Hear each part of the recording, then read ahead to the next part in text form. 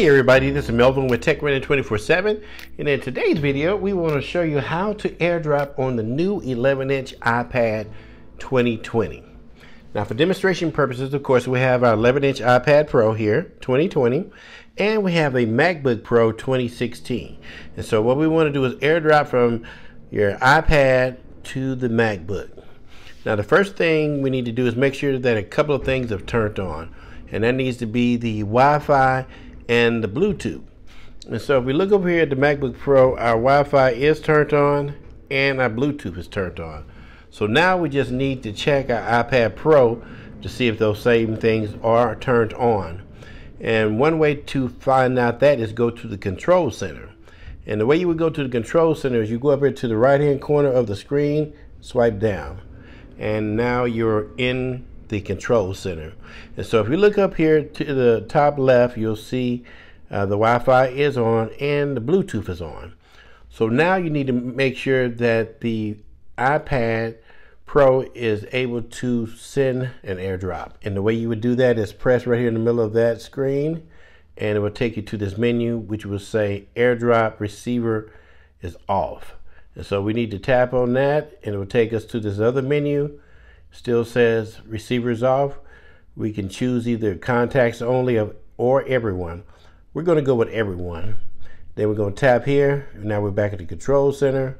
Then tap here again in the middle of the screen. Now we're back to our home screen, home page. And so what we want to do is, um, well, let me say this. To airdrop, you can generally airdrop in documents or photos. And so we chose everyone, and we chose everyone because it may be one or two people we want to airdrop in our vicinity, and so that will allow us to pick up any Apple devices that's near us, and we can choose which one we want to airdrop to. So we're going to go with a picture. So we're going to go down to our gallery, tap on our gallery and open it up, and then we're going to go to our quick picks. And so in our quick picks album, we have four pictures. We're going to go with this one first, and this is a picture of an office setting. And then we're gonna go up to the top of the screen and you'll see this symbol here over to the left and it looks like a square with an arrow in it. And that is your airdrop symbol. So tap on that. Once you tap on that, this next menu will pop up and we'll see airdrop and we want to airdrop it. So we're gonna tap that. Then it will bring up an additional menu that says airdrop. Now in scanning the area, it came up with two Apple devices. One says Mel's iPhone 10 and the other one said Melvin's MacBook Pro. So we wanted to send it to the MacBook Pro. We'll tap here and it says waiting. Then it sent a message over to the MacBook Pro and says that uh, someone's trying to send you an airdrop. Do you want to accept? We say yes and say save it to our downloads. And so now it's in the process of sending it. It just sent it here and then it sent a message saying it has been sent and or we can has been sent and we can open it. Tap there to open it and voila, there is our pick. I'm gonna grab it and put it in the middle of the screen here and uh, blow it up. And as you can see, it is of that office setting. And we're gonna zoom it back down and then we're gonna come out. Then we come back over here and say done and X out there. And then we can go back to our quick picks. And then let's try to send something else. Let's send this uh, picture here of this room. Looks like a living room possibly at a home. And we want to do the same thing too is airdrop it.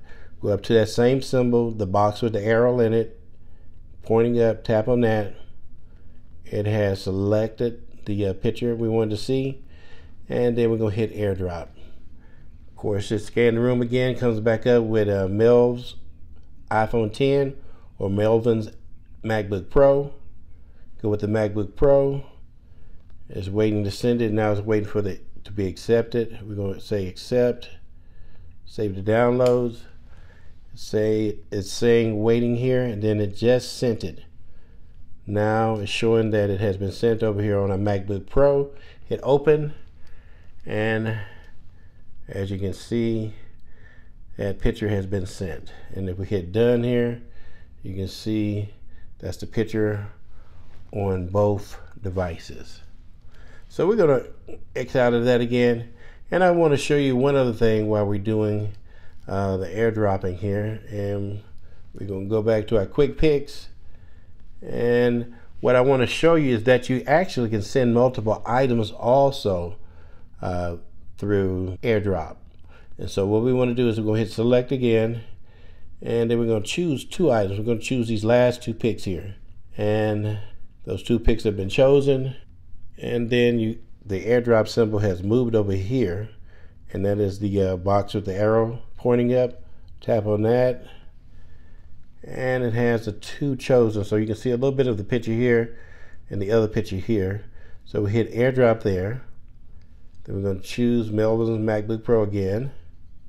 It says waiting. It send a message over here to accept. We're going to accept it again and it says waiting and it's sending the uh, pictures it has been received now we can hit open and when we hit open now you'll see that it has two pictures. I'm to slide this over just a little bit. Two pictures in it. There's one picture here, which is this. Then the other picture here. And if we click on that, it'll show you that it is the other picture. So that's the one picture. This is the other picture here. And so we'll go back to our iPad Pro, hit done, exit out. And of course, like I said, these are the picks. That's the one pick there. And go back. And then this is the second pick. And if we look on the iPad Pro, that is the second pick there also. So that's about it for our video for today. How to airdrop on the new 11 inch iPad Pro 2020. So hopefully we shared something that you can use and something that was beneficial. If so, be sure to hit that subscribe button down below and hit the like button. And don't forget to hit the uh, bell icon so you can be notified of new content as soon as we release it. And again, this is Melvin with Tech Running 24 7, bringing you technology that's on the move. Thanks.